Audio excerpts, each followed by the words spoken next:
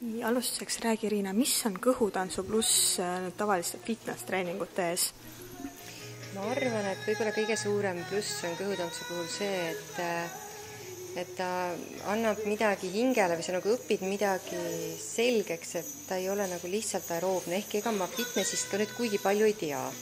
aga kõhutantsuga ma olen tegelenud kaksteist aastat ja sinna saab nagu väga süvitsi minna, et noh, ma usun, et fitnessi saab ka minna süvitsi, aga see on nagu, see on tantsuõpe, fitness on nagu sport mm. -hmm.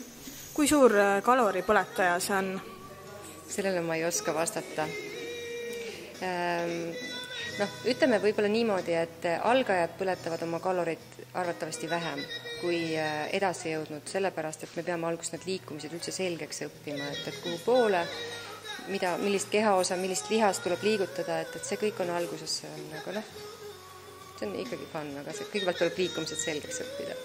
millised kehaosad on siis eelkõige valusaks jäävad pärast seda trenni? tüdrukud, millised kehaosad teil jäävad pärast trenni valusaks? mitte ükski. kõht ei jää? kõik, kõik, kõik on kontrolli all aga see, kes nüüd tahab, äh, selline algaja, kes tahab nüüd kõhu, kõhutantsu tegema tulla, et mis võiks olla see, mis äh, meeles pidada või mida teha või, või mida mõelda või?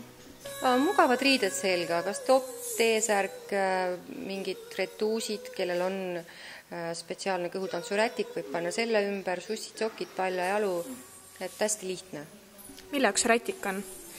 rätik on selleks, et oleks fun.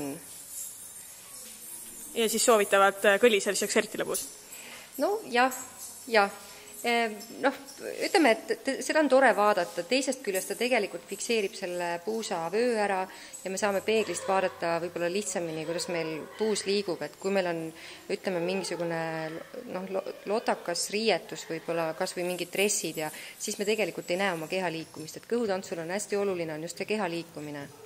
et noh, meil ei ole neid samme niivõrd palju, kuivõrd see, kuidas keha liigub.